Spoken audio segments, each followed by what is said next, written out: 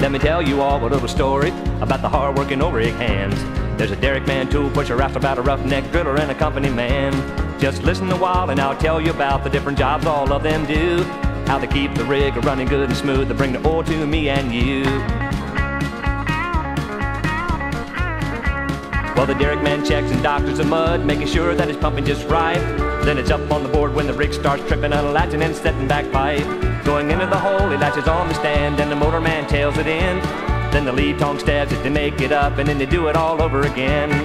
Listen while I tell my story about the hard-working oil rig hands, about the derrick man, tool pusher, out about a roughneck driller, and the company man.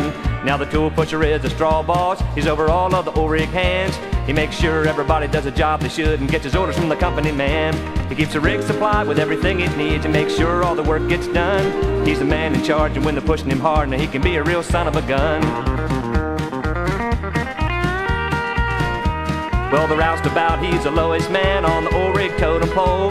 He gets the dirty jobs nobody else wants. Clean up is his main role. You know, he paints a derrick and he unloads pipe and he works with the workboat crew. He's gonna make a roughneck if he don't die first. That's the main thing he wants to do. Listen while I tell my story about the hard-working oil rig hands, about the derrick man, tool pusher, roustabout, a roughneck driller and the company man. Now the roughneck is the backbone of the drilling rig, that's for sure. He spends most of his time working long, hard hours on the dirty old drilling floor. Some days he works and when he feels so bad, if he died he wouldn't care. Cause when he should have been sleeping last night, he was out chasing women and drinking beer. Now the driller's in charge of drilling the hole. He's the boss of the roughneck hands. You know he runs a rig when he's on the floor. He's a tool pusher, right-hand man. Going into the hole, he watches all the gauges and he keeps the operation tight. And when they make a round trip just to change a bit, he sees to it that they do it just right. Listen while I tell my story about the hard-working oil rig hands, about the derrick man, tool pusher, roustabout, a roughneck driller and the company man. Now the company man is the big boss of the entire drilling site. He works 24 hours, seven days a week just to try to keep it running right. He got a truckload of paperwork to do each day and the phone rings off the hook.